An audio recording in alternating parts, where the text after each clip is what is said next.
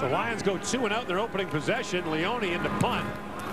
Wow. The CFL's number one punter Grooms is inside the 15-yard line. Studemeyer. And Studemeyer was tripped up initially by force the sack. Richie Leone into punt. Almost blocked. Greg Newman got in there. Adams has it. He picks it up. There's a no yards flag coming. Hang on. Was this ball tipped? Number 20, Johnny